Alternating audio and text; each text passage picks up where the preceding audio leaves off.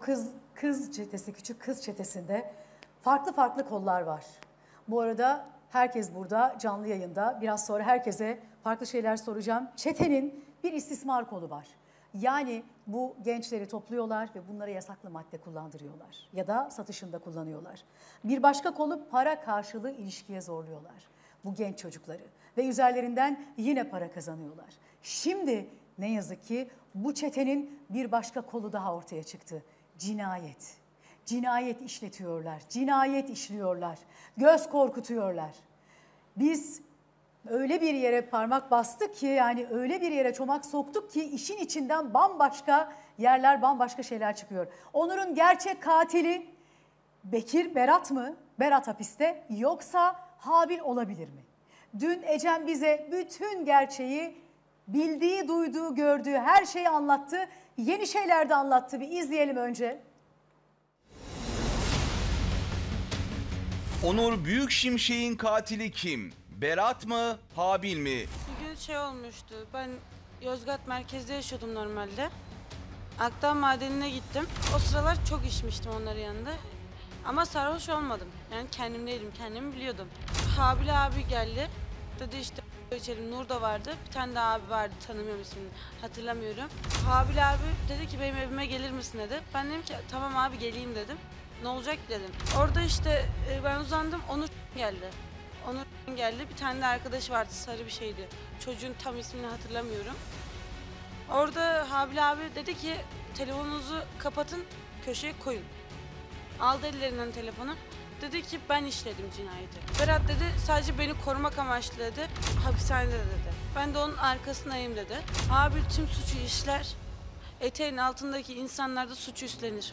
Her zaman böyleydi. Akdağ Madeni'nde duydum. İşte Habil yaptı, Berat üstlendi diyorlar. Berat da Habil'den korkuyor ama belli etmiyor bence. Öyle. Çünkü Berat öyle bir çocuk da değil yani. Tek başına 54 bir yerine nasıl bıçaklasın o çocuğu? Habil başka kimlerin canını yaktı? Ecem konuştu. Habil hakkında söyledikleri hayrete düşürdü. Abi çok kişinin zaten canını yakıyor. Ben bir kişiyi sayamam ki size. Sonra işte bir gece daha böyle geziyorduk biz. Kız arkadaşım vardı yanımda. Nur vardı yine.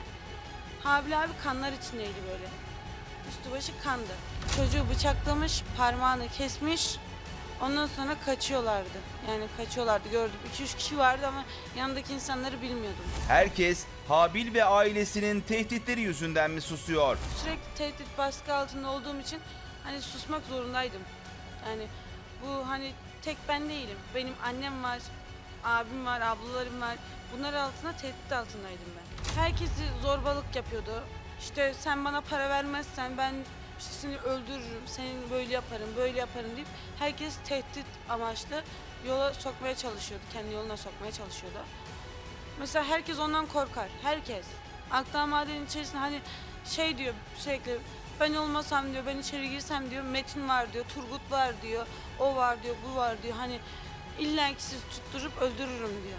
Eteğin altına çok çok akdağ madeni yerden çok hani ondan korktuğu için herkes onun eteğin altına giriyor. Yani bu sadece ben değilim. Hani mesela e, nasıl desem Arafat olsun Arafat'ın ismi geçti onlar olsun bunlar olsun onlar küçük daha. Onlar da korkudan o ço- yani Habil abinin sözünü dinliyorlar. Korkudan sadece.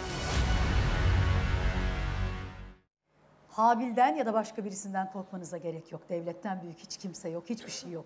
Bakın şimdi hapiste. Üstelik bu haberler, bu olaylar onu daha fazla hapiste tutabilecek hale gelebilir.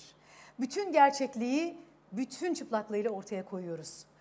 Kim ne biliyorsa bu programda anlatsın. Habil'in kanlı bir şekilde geldiğini, başka bir çocuğun parmağını kestiklerini, daha kim bilir neler neler ki burada bir ciddi bir olaydan, son derece vahim bir olaydan, bir cinayetten bahsediyoruz artık küçük kız çetesinde.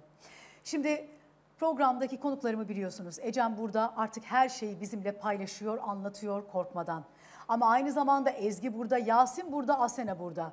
Üçünüze de soruyorum, Ecem'e ayrıca soracağım. Sizin bildiğiniz birisi miydi Onur? Berat'ı tanıyor musunuz? Habil'in bu yaptıklarının dışında siz nelere tanık oldunuz? Kim başlamak ister? Ben başlayabilir miyim? Tabii ki Asena söyle. Öncelikle Onur'u tanıyordum ama hiç sohbet muhabbet etmişliğim yoktu. Benim arkadaşım tanıyordu. Yani iyi çocuk falan, e, namuslu, eli yüzü düzgün çocuk diye anlatıyordu. Ama şey, e, Habil, bir tane daha Berat, e, arabaya biniyorlar, alkol alıyorlar. Bu ölen rahmetli Onur'u da alıyorlar yanlarına. Bu Berat ve Habil alkolü içtikçe zaten sarhoş oluyormuş. Berat da Onur arabadan indikten sonra Berat alkollü kafayla Onur'a sarmaya başlamış. Zaten ondan sonra Habil inmiş. Ondan sonra zaten bıçaklamışlar çocuğu. Berat da suçu üstlenmiş. Ve Habil e, nasıl diyeyim çevresindekine suçu üstlendiriyor. O, ya- e, o kişi suçu üstleniyor, hapse giriyor. Habil de onun ailesine maddi destekte bulunuyor. O gün Berat, Habil, Onur ve diğer Onur, Onur Şen. Öyle mi? Evet. Onlar bir arabadalar. Aslında senin anlattığına da uyuyor. O arabayla beraber bir caminin avlusuna kadar Onur Şen gidiyorlar. olduğunu bilmiyordum arabada. Ha Onur da varmış. Ya iki Onur varmış. Ben arabada olduğum sürücüyü bilmiyordum. Yeni öğrendim. Asena'nın söylediği böyle. Evet, yeni öğrendim ben onu. Ve bir de kamerasız bir yere götürdüklerini duydum. Yani arkadaşıma öyle söylemişler. Zaten öyle yerlere Kamerasız bir yere götürmüşler, orada yapmışlar. Demek Ne ki dedi? önceden Zaten öldürme hep niyeti var o zaman. kamerasız- kamerasız. Belki de bu Evet. öldürülen ilk çocuk da değil. Belki daha önce böyle şeyler yaptıkları için belki bu konuda deneyim sahibi olmuşlar. Bilmiyoruz. O da onlar da açığa çıkar. Kamerasız e, her yere giderler yani. Kameralı olan yerlere gitmezler onlar genelde. Şimdi bu caminin e, bahçesinde kamera yokmuş. Öyle mi? Yok. Yok mu? O yüzden burayı seçiyorlar. Yani Evet, aslında hep niyetleri Onur'u köşeler yani. gerçekten öldürmek. Öldürme amaçlı mı götürüyorlar buraya? Yani 54 yerinden bıçaklamışlarsa evet.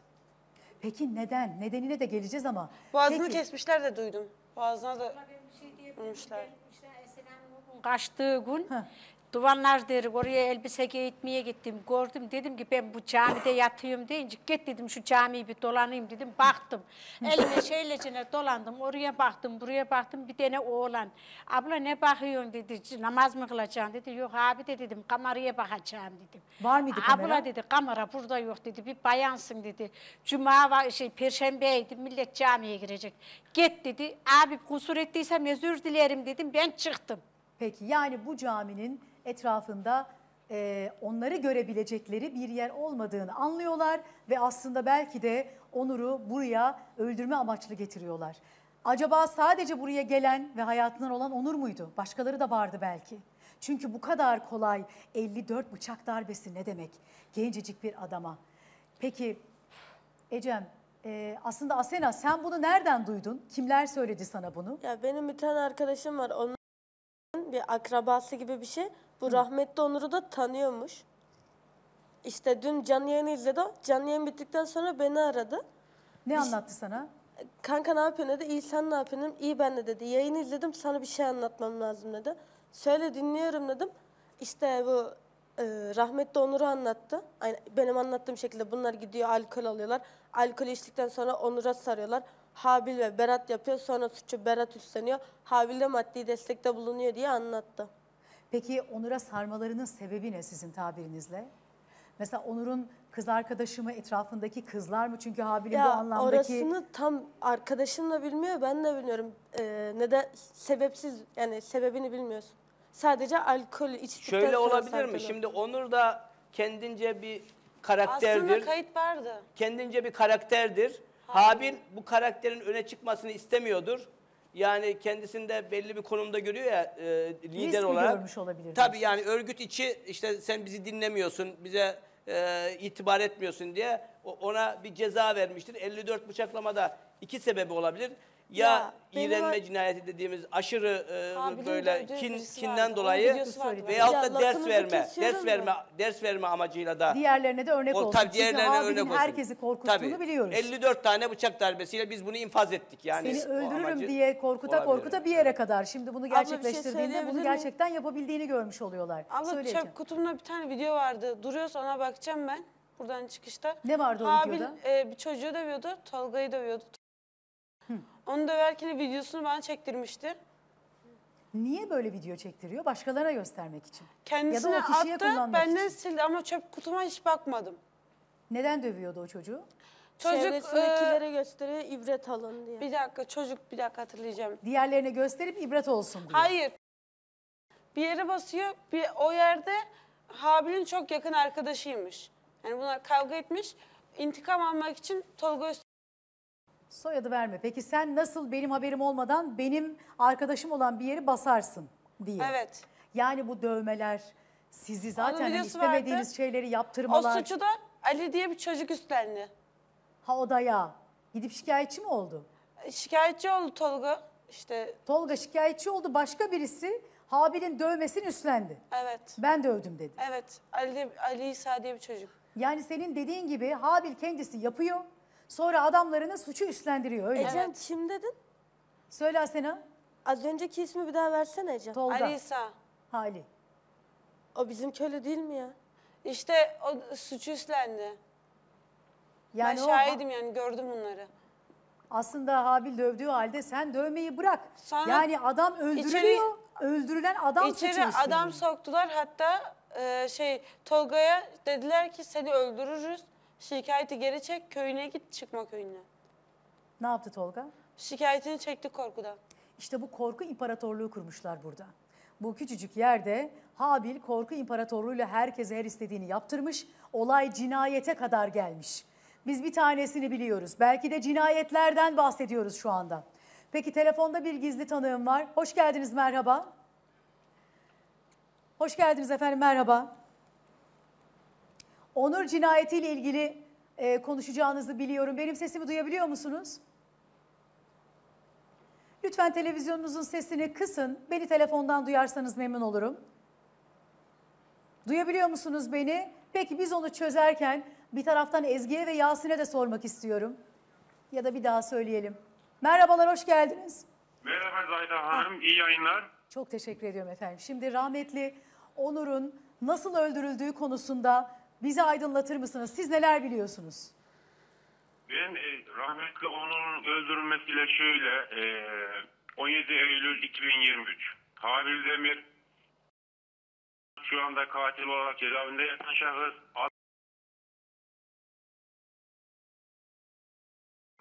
bu Muhammed soy isimleriyle size veriyorum. Bunlar aynı köyden olup bu şahsın sağ kolları. Peki sadece isimlere devam edin lütfen. Bunların Tamam, hepsi lütfen. aynı köyden. Alpar Alparslan ve Recep. E, Bunlar aynı köyden olup o şahsın yani e, bu vakaları azmettiren, insanlara kötülük yapan, küçük çocukları kandırıp kötülük yapan bu şahsın sağ kolları bunlar. Yani e, Onur ölümünde de ölümünün akşamının sabahı bu beş kişi Akdağ Madeni Kültür Merkezi'nin üst köşesinde buluşup orada içtikten sonra bunlar bu beş kişi arabayla araba muha- Muhammed'in arabasıyla bunlar köye gidiyorlar. Galek köyüne. Galek köyünde e, gecenin yarısına kadar, gece kararmasına kadar orada eğleniyorlar vesaire. Bir gün önce de Eğer- Onur öldürülmüş. Bir Hayır, cinayet hayır. işlenmiş. Hayır, o cin- hayır. Ha, Öldürülmeden Onur gece öldürüldü. Bu öldürüldüğü Gün. günün gündüzünü anlatıyorum Tamam. ben size. Doğru mu? tamam. Daha akşamına bu cinayet Akşama- işlenecek. a- Bu akşama- gündüz. Akşama, akşama doğru geleceğim abla. Akşama doğru geleceğim. Bana isimleri bir daha söyleyin. Muhammed, Başta Habil Demir. Azmettiren ve esas katil bu. Katil olan cezaevinde yattım. Veriyorum. Hiç önemli değil. siz vermeyin, vermeyin onları kesmek zorunda kalıyorum. Alpaslan, bir kişi daha. Muhammed, Habil, Recep. Berat, Alpaslan biri daha dediniz. Recep. Recep. Peki Bunların- bunlar gündüz bunlar- başlıyorlar abla. içmeye. Recep ve Muha- Alparslan ve Muhammed bunların üçü de o cinayette o gün çocuğu kandırıp da onu öldüren şahıslardır. Yaşı 17 olduğu için şahsın sen az yatarsın yaşın küçük deyip de ona su- suçlayıp cezaevine gönderen bunlardır. Berat'ı, Berat'ı Recep- aslında Muhammed Alpaslan Recep mi gönderdi diyorsunuz? Ha, Hapishaneye. zaten Habil. Asıl Habil. Artık ben ona insan demiyorum bana göre yaratıktır o. Bana göre yaratık bir insan. Küçük çocuklarımızı kandırıp, genç kızlarımızı kandırıp, yoksul insanların çocuklarını kandırıp, ne bileyim uygunsuz, ya- yasaklı madde kullanaraktan, yasaklı madde kullandırıp da onlara e, tenlerine sahip olaraktan bu çocuk nedir, kimdir yani ya? Devletten üstün, devletten büyük kimse yoktur ki. Bu insanlardan neden korkarlar acaba? Ben onu merak ediyorum. İşte şimdi de O oğlan kardeşi köyüne- tehdit ediyor. Oğlan ka- yani Abi bizi o günün Gareköy'üne giden arabanın sahibi Muhammed diye bir şahıs. Olayların çoğunluğunu bilen bu kişi yani Muhammed ve Recep bütün olayların o cinayetin nasıl işlendiği, neden işlendiği, vaka ne, sebep ne bu ikisinden başkasını hiç kimse bilmiyordu. Çift isim Recep ve Muhammed'dir. Muhammed araba o gün Habil'i yanına alaraktan köye gidiyorlar. Ben bunların o gün köye gittiklerine de inanmıyorum. Peki o gün Gale köyüne gittikten sonra gündüz Ahtar Madeninde içtik, yiyip içtikten sonra bunlar arkadaş. Ha şunu unutmayın. Onur kendinden yaşlı büyük insanlardan dolaşan, babası yoktu ama gerçekten çevresinde sevilen bir çocuktu. Bu çocuğu maddiye alıştıranlar da bunlar zaten. arabadaki ikinci kişi diğer Onur. Hayır hayır. Ha, Evet evet öldürülen çocuğu da maddiye alıştıran bunlar. Maddiye alıştıran da bunlar Zaten zaten. iki aylık bir süreçmiş herhalde. İki ay önce falan Zaten bu aslında bu ismini zikret- dolaşmaya başlamış Onur. İsmini Rahmetli. zikretmediğim bir restoranda bu şey olarak çalışıyordu. Garson olarak çalışıyordu. Oradaki çalıştıran da mal sahibi yani restoran sahibi bu çocuktan çok memnundu. Biz defalarca görüşüyorduk. Ee, iyi olduklarını söylüyordu. Ondan söylemeyin.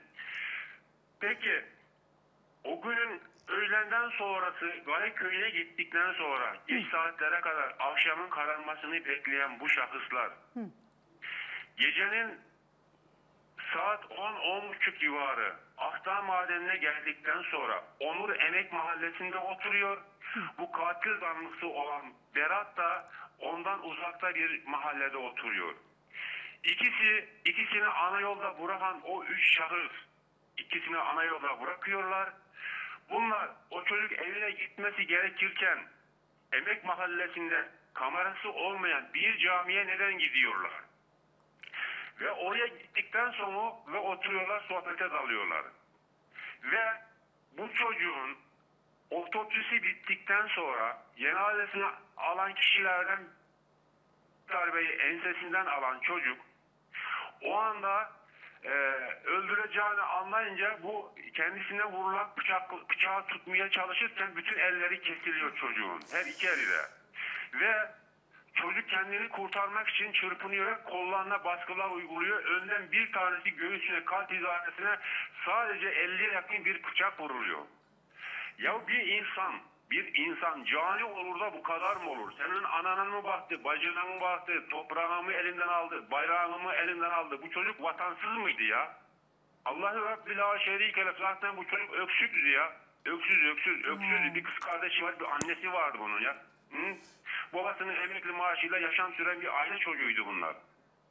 Şimdi inanın biz de sizin kadar üzgünüz. Olayı konuştuğumuz her dakika aslında ne kadar vahim bir durumda böyle bir cinayetin işlendiğine tekrar tekrar tanıklık ediyoruz. Ama bu cinayet için Berat şu anda hapiste. Ama bu cinayeti yalnız mı işledi? Bu cinayet planlı bir cinayet miydi? Bu yüzden bir kameranın olmadığı bir yere gidildi. Neden bu cinayet işlendi? Onur'un suçu günah neydi? 54 bıçak darbesinden bahsediyoruz. Ne olabilir burada? Hepsi ortaya çıkacak, hepsi aydınlanacak. Biz bir çetenin aslında kapısını araladığımızı düşünürken cinayet çetesinin de kapılarını açmış olabiliriz.